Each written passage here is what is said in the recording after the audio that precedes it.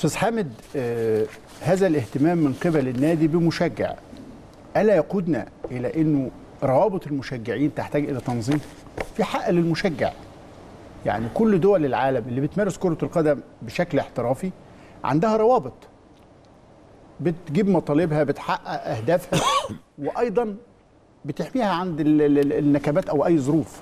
أنا أعتقد إن لائحه اللائحة ال- ال- ال- الجديدة التي وافقت عليها الجمعية العمومية للنادي الأهلي فيها ما ينظم هذا الأمر وأعتقد إنه آه، ال- الموضوع محتاج من الإدارة التنفيذية أن تبدأ في تنفيذ ما نصت عليه اللائحة من وجود آه، روابط مشجعين وفيها كل الأمور. بس علينا أن نتحرك في هذا ال- ال- الموضوع وبسرعة لأنه دوما اللي بيحصل إنه الأهلي بيبدأ ثم بالظبط. يتبعه.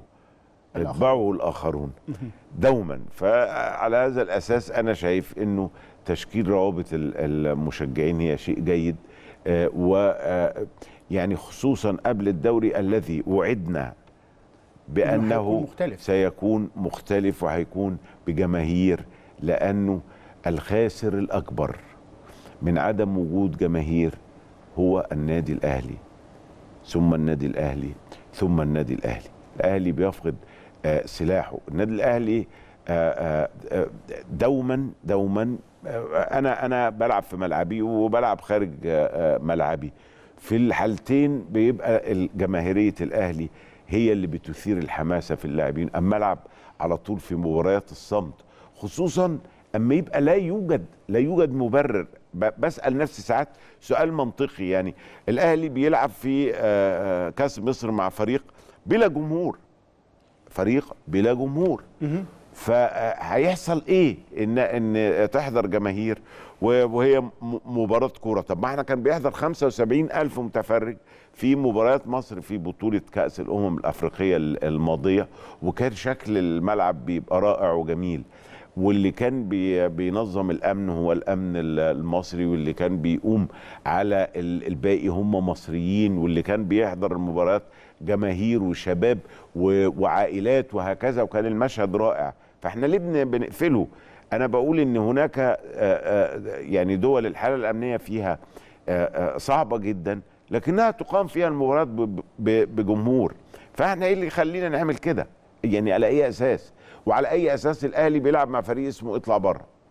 والفريق طلب إنه النادي الأهلي يستضيفه واستضافوا النادي الأهلي. فحدد أقول 10000 طب وليه أقول 10000 ع- يعني ما سيبها يعني مش هيحصل حاجة خصوصا إن النادي الأهلي الآن وهو أول من فعلها آه، عنده ال- ال- الطريقة الإلكترونية لحجز التذاكر سواء من أعضائه أو آه، جماهيره وتم تطبيقها من قبل. وفي ونجحت. نجحت. آه.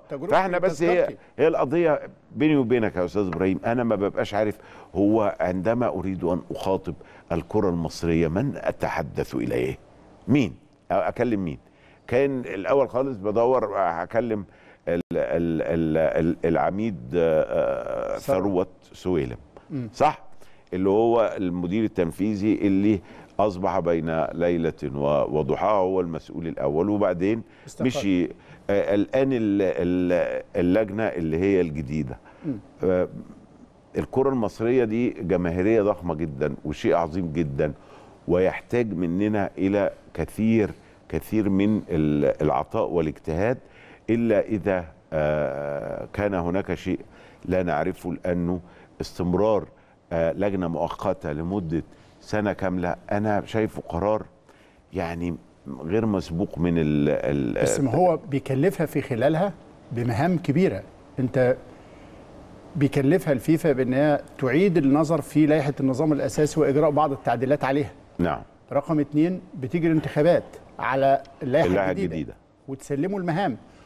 ثم تعمل كل التشكيلات والهيكلة الإدارية داخل الاتحاد. يعني هي مجموعة مهام وقايل لهم لحين إجراء الانتخابات أو 31 يوليو أيهما أقرب؟ يعني لو أنجزت كل هذه المهام قبل 31 يوليو في ست شهور قول سلام عليكم. بس سلم ال ال ال ال الأمور لاتحاد منتخب. أنا أريد من اللجنة الخماسية برئاسة المحاسب عمرو الجنايني إن هي تبين لنا أمارة آه إنه إن إحنا سنجد شيء مختلف. وكما آه، قلت أنت وأنا بطالب أو هكذا يطالب الأهلي منذ عشرين أو أكثر عاما بضرورة ضرورة تعديل اللائحة الانتخابية لأنه لا يصح بالمرة لا يصح بالمرة أن يكون صوت يمثل الاهلي أو الزمالك أو الإسماعيلي أو المصري أو الاتحاد وصوت أيضا يمثل بعض أندية مراكز ال- الشباب غير اللي- آه. آه فده ما ينفعش وقالها ال- المايسترو صالح سليم قبل كده إنه ال- الراجل بتاع الدرجة الأولى اللي النهارده هيمثل هيلعب درجة أولى في الدوري الإنجليزي ده له ثلاث أصوات اللي في الدرجة الثانية له صوت اللي في الدرجة الثالثه ملوش واللي في الرابعة ملوش لأن اللي إيده في المية. الوزن آه النسبي. الوزن النسبي لكل بيتحدد كده أنت بتلعب فين طب انت عندك كم فريق ناشئين؟ طب انت كل الحاجات دي بيتحط ليها آه، آه، ان دول يبقوا عدد الاصوات اكبر عشان نتخلص الحقيقة من آه، انتخابات ال- السمك والجمبري.